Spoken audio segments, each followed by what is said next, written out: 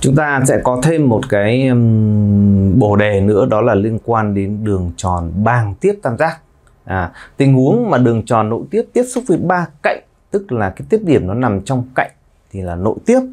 Thế về tình huống mà tiếp xúc với ba đường thẳng chứa ba cạnh thì sao? Nha ba đường thẳng chứa ba cạnh thì sao? Thì chúng ta sẽ có đường tròn bằng tiếp. Đường bằng cụ thể như này. Trước tiên thầy vẽ một cái hình nha thầy vẽ một cái hình à, thì vẽ đường tròn bé bé đây. Đường tròn bằng tiếp. Đấy.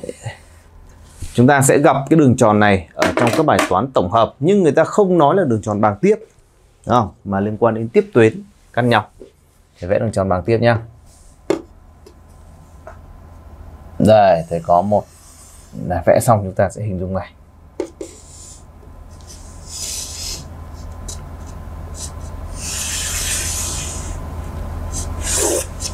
Đấy, thì có tam giác ABC bé bé như này.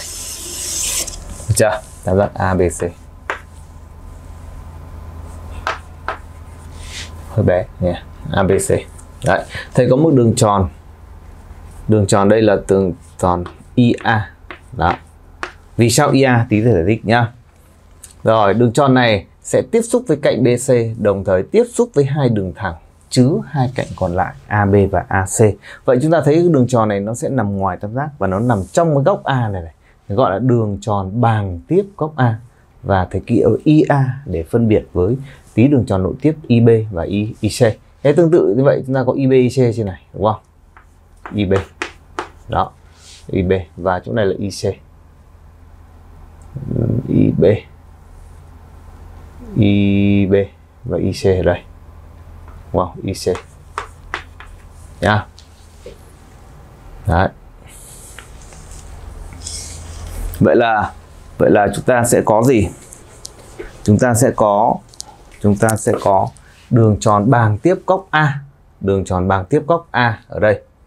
Nha tiếp xúc với cạnh BC và tiếp xúc với hai đường thẳng chứa AB và AC thế thì như vậy thì chúng ta sẽ có lần lượt là gì? À IA sẽ thuộc tia phân giác của góc góc A, đúng không? IB à BI để nói nhầm nhá, là phân giác góc ngoài của góc B. Và IC cũng vậy, là phân giác góc ngoài của góc C. Nha phân giác góc ngoài góc C. Được chưa? Đó. Và chúng ta cũng thấy rằng chúng ta có thể thiết lập được cái mối quan hệ như này. Thầy đặt giao điểm ở đây. Đó tiếp tuyến nha tiếp điểm nha m n p mnp thế thì tương tự như cái hệ thức liên quan đến đường tròn nội tiếp ở ví dụ số 1 thì thầy có một cái hệ thức này.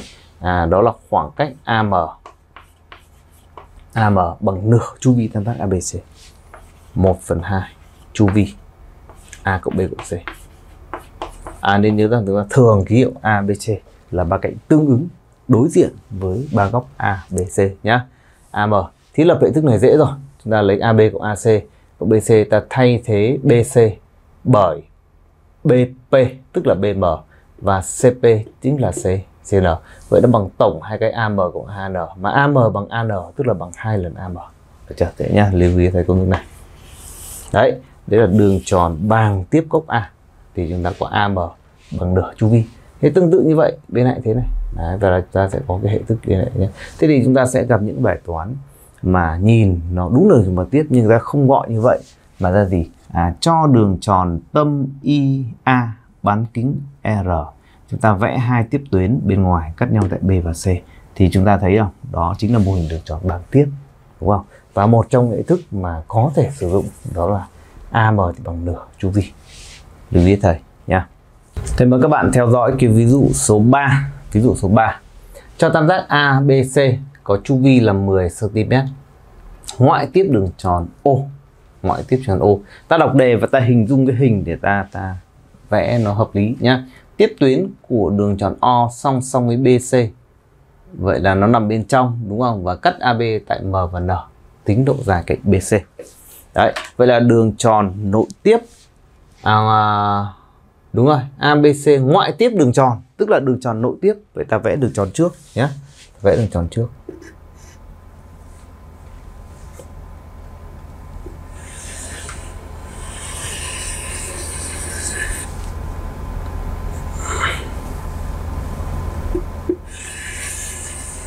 Rồi, ta vẽ đường tròn trước. Đấy, vậy là ta vẽ đường tròn trước, sau đó ta vẽ bán cạnh đáy cái đáy BC nha, cái đáy BC.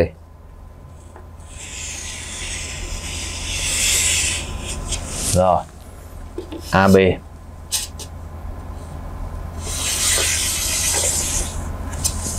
AC. Đó tam giác ABC ngoại tiếp chúng ta lưu ý cẩn thận ngồi nhầm nhá ngoại tiếp đường tròn O đây một tiếp tuyến song song với BC cắt AB tại MN đây song song này.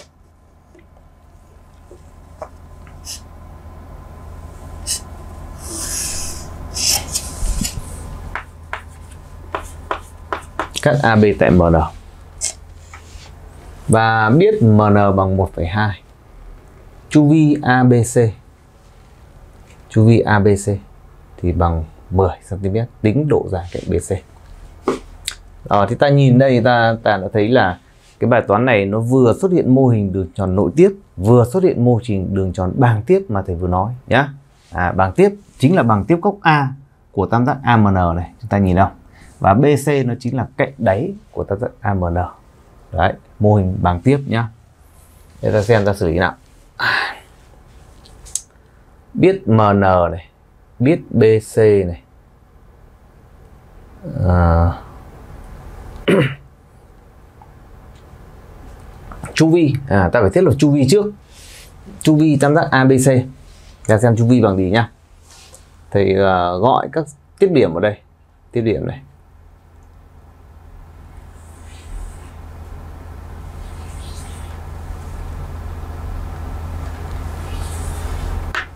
Đó thì bạn tiếp điểm nha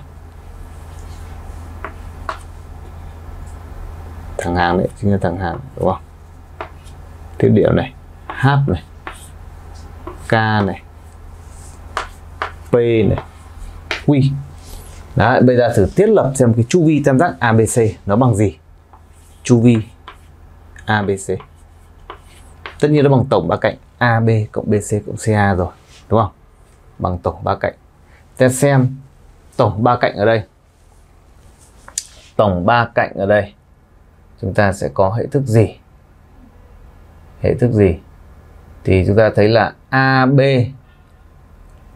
AB AB đây.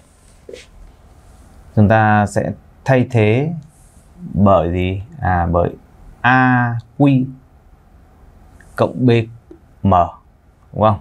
Cộng BH đó, thế còn AC thì thay thế bởi AK cộng với KC nhá à, ta viết lại này bằng AQ AQ cộng cộng gì? AQ cộng BQ rồi AC AC hoặc là rồi thầy viết thế AC bằng AK cộng KC đúng không thế còn BC BC ta để đấy nhá. BC đầu bài cho rồi mà. À chưa cho đã cần tính ta để đấy nhá. Rồi tiếp bằng bằng AQ AQ AK thì bằng nhau. AQ AK thì bằng nhau, đúng không?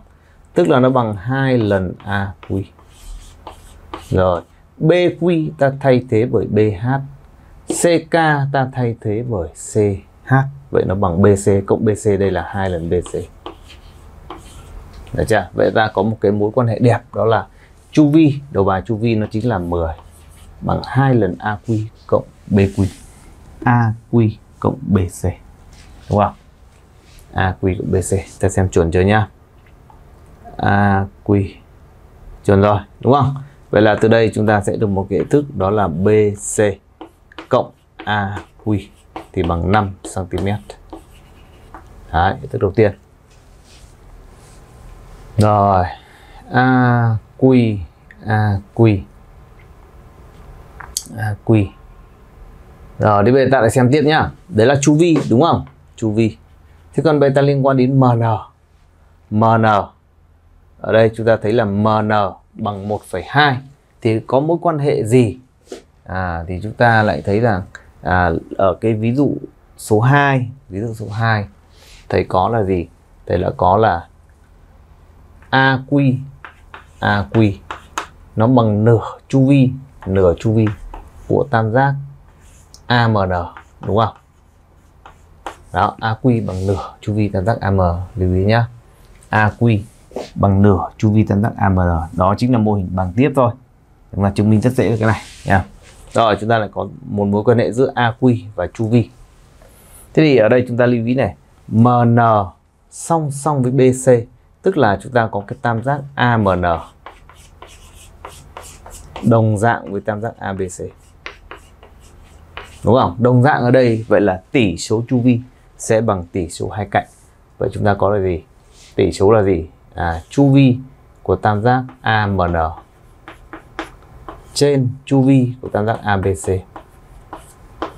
bằng tỷ số hai cạnh MN trên BC. Đấy, vậy ta thiết lập một ta thay vào đây nhá. Thay vào đây chúng ta có này. Chu vi của AMN thì bằng hai lần AQ.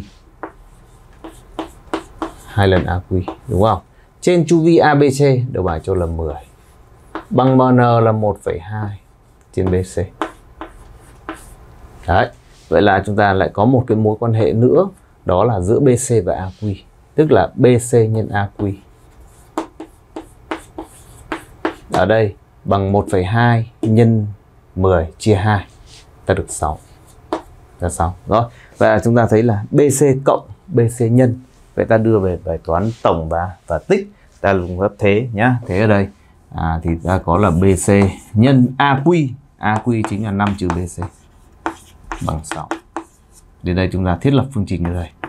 BC bình phương trừ 5BC cộng 6 bằng bằng 0 đó và dễ dàng nhầm được nó chính là phân tích nhân tử hoặc chúng ta bấm máy tính là chúng ta sẽ ra được cái này đó. BC bằng 2 hoặc BC bằng 3 BC bằng 2 hoặc BC bằng 3 Thế thì tại sao lại có hai đáp số nhỉ? Đấy, chúng ta xem tại sao lại có hai đáp số đây. BC bằng 2 hoặc BC bằng 3. Được chưa? Đấy, chúng ta có hai đáp số nhá. BC bằng 2 hoặc BC bằng bằng 3. thì xem có gì nhầm lẫn không. Một đó, từ từ từ từ từ, từ nha, chỗ này. 12 à 12 chia đôi đúng bằng 6. Tổng đây bằng 5. 5 2 và 3. Nếu BC bằng 2 thì AQ bằng 3. Nếu BC bằng 3 thì AQ bằng bằng 2. Ta xem có gì vô lý không? Ừ, vô lý không? Rồi, không. Vậy chúng ta có hai đáp số ở đây nhá. BC thì bằng 2 hoặc hoặc 3. Thế mời các bạn theo dõi ví dụ số 4. Cho tam giác ABC có chu vi là à bài này ta vừa xem rồi đúng không? Đây. Cho tam giác đều ABC có cạnh 18, một tiếp tuyến với đường tròn nội tiếp và vậy là ta lại vẽ đường tròn nội tiếp trước nhá. Vẽ đường tròn nội tiếp trước.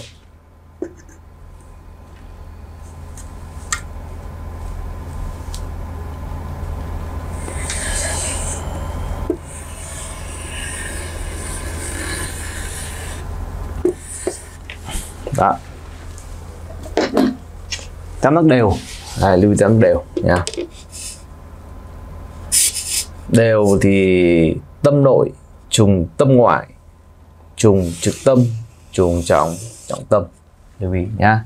Thì đây thầy thấy đây là chiếm hai phần đúng không? Thì nó khoảng đây. Khoảng đây thầy vẽ xuống. Trùng nhau mà đúng không? Trùng nhau.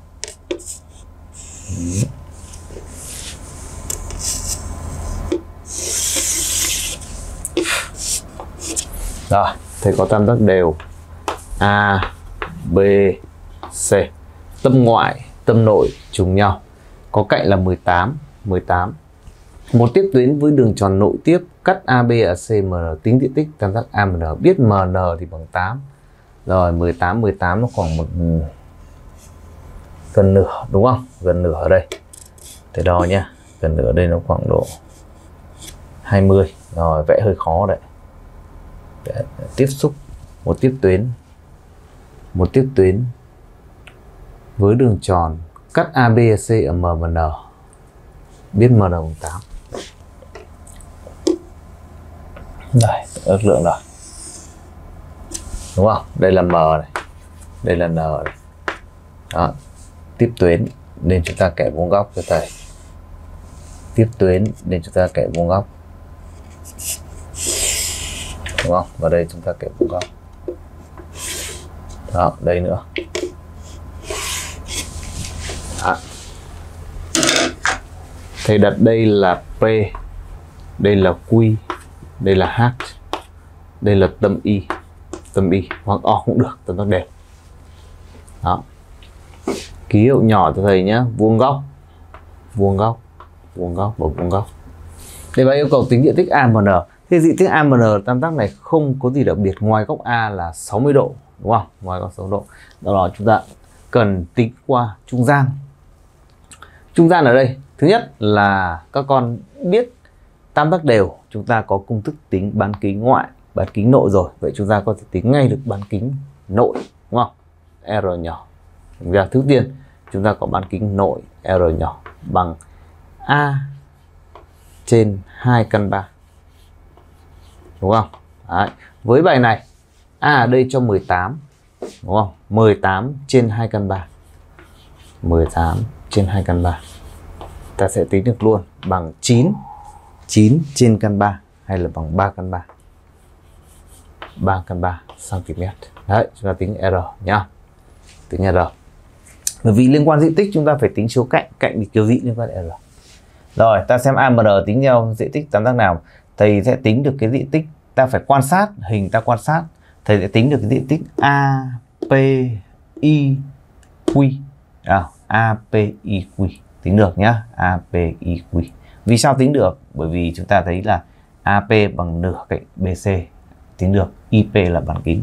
Vậy là thầy tính được tam giác A tứ giác APIQ thầy trừ đi cái dình IPMNQ là thầy sẽ tính được cái diện tích AMN đúng không?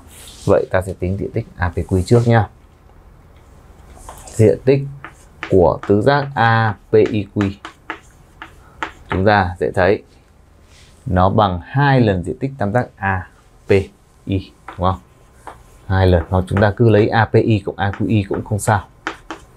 Bằng hai lần API à, API tam giác vuông bằng AP nhân PI chia 2 nhân 2 vậy đó chính là bằng AP nhân PI thay vào thôi AP trong tam giác đều thì chúng ta thấy là tâm trùng với tâm ngoại tức là P là trung điểm.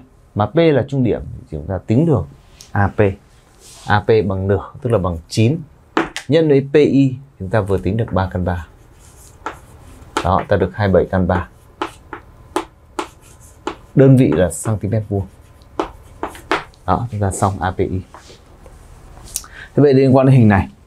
Hình này ở đây à, thầy đặt đây là K hình này đây chúng ta lại tương tự thôi chúng ta lại chia thành hai tứ giác đặc biệt I P M K và I Q N K. Đó hai tứ giác này nó giống tứ giác APIQ không? Đó, thì chúng ta lại lại tách cho thầy tách cho thầy. À tứ giác này ta xem nào. Tứ giác này chúng ta tách thành hai tam giác. Thì chúng ta phải tính được rồi cộng lại thôi đúng không? Cộng lại thôi đây. Đây cái này nhá. Đó diện tích này diện tích tứ giác à diện tích cái hình đây là ngũ giác đúng không? Ip mnq IPMNQ à, chúng ta thấy nhá nó bằng diện tích tam giác này diện tích cái phần này này IPMK SIPMK cộng SIQNK IQNK à, ờ, ta xem thằng này bằng gì nhá IPMK thì gấp đôi tam giác IMK bằng hai lần diện tích tam giác IMK. Thế còn IQNK bằng hai lần INK. Vậy đây đó chính là bằng hai lần IMK cộng INK thì chính là IMN. Mà IMN ta tính được không? Tính được. Nó bằng bán kính à chính là đường cao nhân đáy chia đôi bán kính nhá. Nó chính là chia đôi nên ta được là MN nhân IK. Thế đề bài cho biết MN rồi, thay vào thôi. MN bằng 8 nhân với IK nó chính là bán kính 3 căn 3 ta được 24 căn 3 đơn vị là cm bình đúng không? Cm vuông. Rồi đây ta trừ đi thì ta được là diện tích AMN bằng hiệu hai cái này. 27 căn 3 trừ đi ta được 3 căn 3 cm vuông. Đấy, xong. Cái bài này là bài hơi khó nhá. Bài hơi khó đấy. Ngoài cách này ra các bạn có thể tham khảo những cái khác. Đấy chúng ta những cái hình này thường hình là nó sẽ, sẽ có một hay hai cách. Đúng chúng ta phải nên mày mò. Được chưa? Thì mời các bạn sang ví dụ số 5 cho tam giác ABC nội tiếp đường tròn O. À, ta lại vẽ tam giác ABC nội tiếp vậy là chúng ta vẽ đường tròn trước cho thầy nhá. Vẽ đường tròn trước. Vẽ đường tròn trước.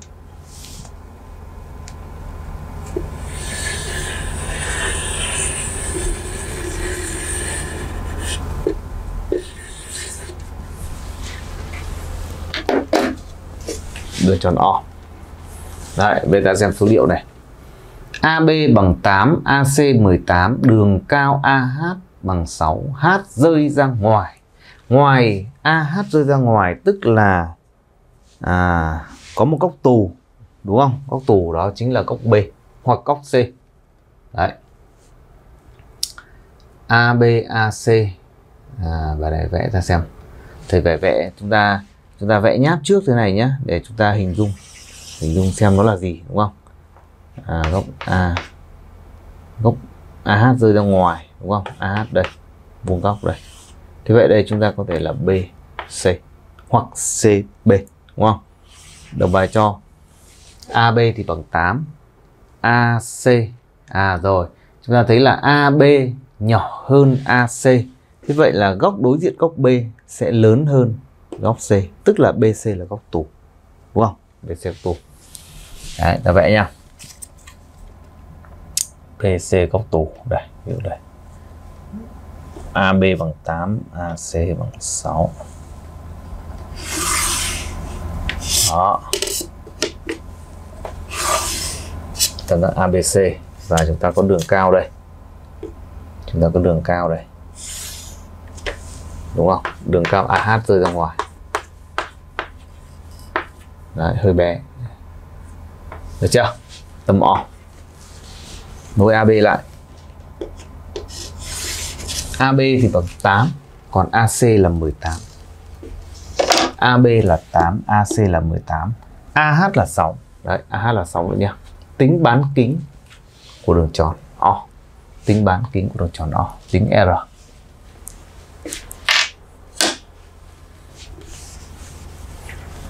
à ta xem. Ta xem có một cái hệ thức nào đó liên quan đến R không? Ừ, lúc nãy thì thầy phân tích là thầy thầy, thầy có hệ thức này nhé ừ. R thì bằng A trên sin A trên 2 sin A đúng không? Đúng không? Bằng B trên 2 sin B C trên 2 sin C. Thế ta thử kết nối vào đây xem được không?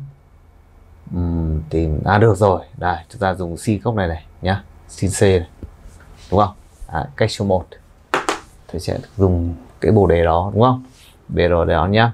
Thì chúng ta được là bán kính R này bằng này.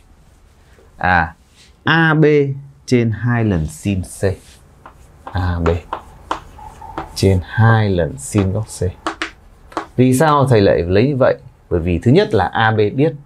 AB đầu bài cho là 8 thứ hai là sin góc C thì bằng đối chia huyền chúng ta cũng tính được 6 trên 18 đúng không 2 nhân đúng không nhân sin C nó chính là AH trên AC. Rồi ta thay vào thôi, đúng không? Bằng 8 trên 2 nhân AH là 6 trên AC là 10, 8 ta lắp vào. Đó. Uh, 3 12 12 cm. Thử đúng 10 nha nhá. Chỗ này là 2 phần 3, ngược lên là 24 phần 2 ta được 12 cm. Đó. Vậy là nếu mà chúng ta biết cái bổ đề thầy nói thì chúng ta sẽ dễ dàng vận dụng được trong những tình huống thế này. Đó tình huống này chúng ta họ không nói cái, cái này đúng không? Đó, nhưng họ bắt tính bán kính mà lại biết yếu tố các cạnh thì ta sẽ liên tưởng đến công thức này. Đấy. Ngoài ra thì nói luôn một công thức nữa đó à cháu là ABC trên 4S để trong tình huống chúng ta biết diện tích à, chúng ta lại tính theo hệ đơn này đúng không? Thế còn nếu mà trong tình huống mà chúng ta không biết không biết thì chúng ta phải tạo cho thầy bán kính hoặc đường kính. Ở đây thầy sẽ tạo này. Đấy bởi vì có a vuông thì sẽ tạo thêm cái đường kính để chúng ta xuất hiện góc vuông. Đây nhá. Đó thế thì AD nó chính là đường kính đúng không? AD nó là đường kính chúng ta dễ dàng chứng minh được cho thầy góc này này. Góc H bằng góc D, nhá. Một trong những dấu hiệu đó là gì? Góc ngoài bằng góc trong đối diện. Chúng ta biết thôi, chúng ta không được dùng, nhá. Thế thì để chứng minh như vậy thì thầy sẽ dùng cái này. Đây chính là góc ngoài, đúng không? Chưa góc ABH là góc ngoài. Góc ABH là góc ngoài đúng không? Bởi đề bài cho hát rơi ra ngoài mà. Thì bằng 180 độ trừ góc bên trong. 180 độ. Trừ góc ABC đúng không? Rồi, bằng 180 độ trừ. Chúng ta biết là góc ABC góc ABC à thì chúng ta sẽ, chính là bằng số đo của, bằng gì bằng nửa số đo của cung cung ABC nhá. Đấy. Góc ABC góc nội tiếp chắn cái này thì bằng nửa số đo. Vậy ta được là 1 phần 2 số đo của cung ADC đúng không? Cung ADC rồi, ta xem nó bằng gì? Bằng 360 độ. 360 độ. Quy đồng lên. Trừ đi số đo của cung ADC chia đôi rồi. Ta xem này. 360 độ trừ cung này, nó chính là cung còn lại đó chính là cung lý ABC nhá. Vậy nó chính là bằng 1 phần 2 số đo của cung ABC mà số đo cung ABC đó. Chắn cung chắn AC vậy nó chính là bằng góc ADC bằng góc ADC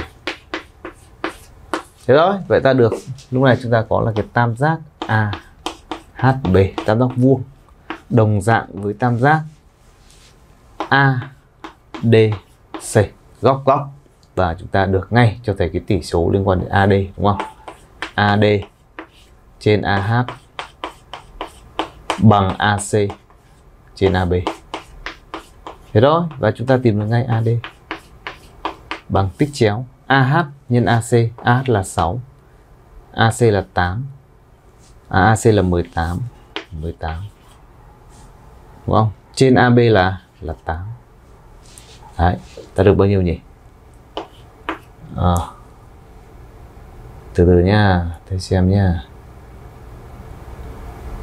AH đầu bài cho là 6 nhân AC là 18 trên AB là 8 đúng không? Ồ, ta được bao nhiêu nhỉ? Chỗ này là rút gọn đi đúng không? Rút gọn cho 2 cho 2 ở đây. Đúng không? Thì trên tử đây còn 9 nhân 3 là 27 dưới mẫu là 4 ồ, tại sao lại khác nó số bên trên nhỉ? Ta xem có gì nhầm lẫn đâu nha. Đấy là AD 27 phần 4 ta xem gì nhầm lẫn đâu nha. AHB AHB ADC đúng rồi. AD trên AH bằng AC trên AB AC